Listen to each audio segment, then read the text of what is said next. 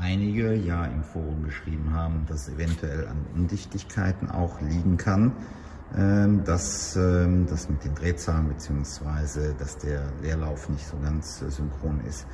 Ähm, Habe ich jetzt hier einmal einen Smoker-Test dran. Die kennt man, hat man jetzt im Fernsehen, glaube ich, auch schon häufiger gesehen.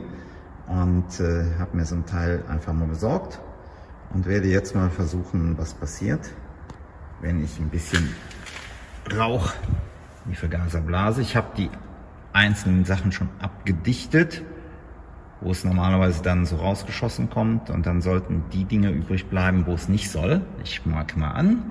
Zack. So. Schon legt er los. Jetzt dauert es ein bisschen. Und dann sollte irgendwann eventuell was passieren.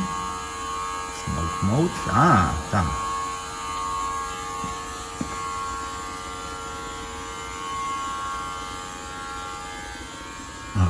Okay. Das heißt, ich habe hier. Oh ja. Also hier haben wir eine ganz kleine Undichtigkeit, würde ich sagen. Das ist mehr als deutlich. Ja, dann an der Welle.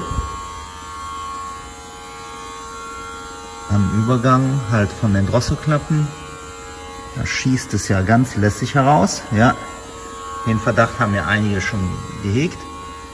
Aber ganz vorne hier ist natürlich zu sehen, das ist eine Spritzufuhr. Hier haben wir deutlicherweise ein Problem. Da tritt Luft auf, beziehungsweise da zieht er wahrscheinlich dann auch Falschluft. Okay, okay.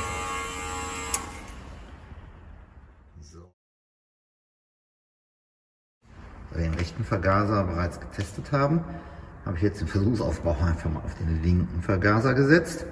Rechten Vergaser ganz klar die Welle von den Drosselklappen, als auch anscheinend der Deckel von der Benzinzufuhr scheint undicht zu sein. Jetzt einmal der Test. Ich schalte ein. Zack. So. Und jetzt schauen wir mal, was passiert.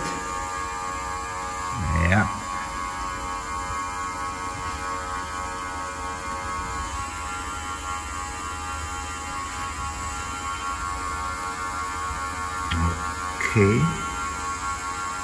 Ich würde mal sagen, ganz leicht. Das sieht aus. Ja, Vergaserglocke. Aber hier hinten wieder an der Welle, links und rechts, kommt es ziemlich stark raus. Okay.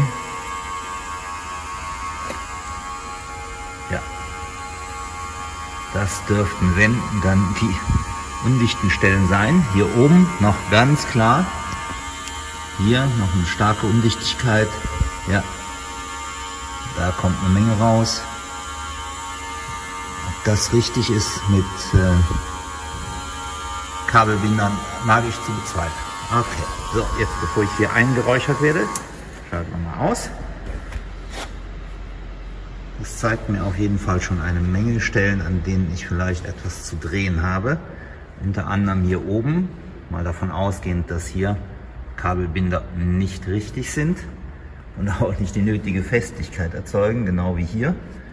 Das sind alles halt, würde ich sagen, Bastellösungen. Da sollte man mal mit richtigem Material dran.